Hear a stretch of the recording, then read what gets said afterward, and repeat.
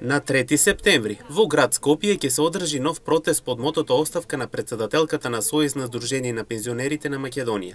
Протестот ќе се одржи во 11 часот, а се повикуваат сите заинтересирани кои го подржуваат линеарното покачување на пензиите, истакна председателот на пензионерите на Штип Трајче Митев за Емне телевизија. До сите пензионери на општина Штип.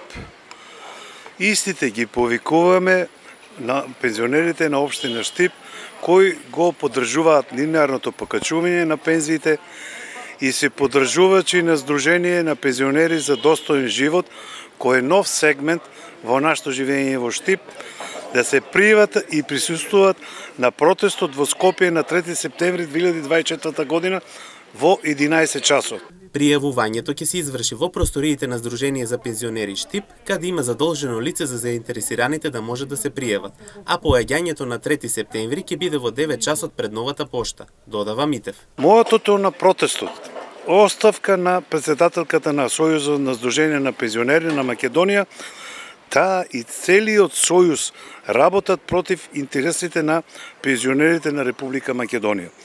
За целото ова ќе бидат информирани граѓаните и пензионерите кои го поддржуваат овој протест, ќе во просторите на пензионерите Штип има задолжително лице кај кој треба да се пријават и тргнувањето ќе биде во 9 часот пред новата пошта Штип.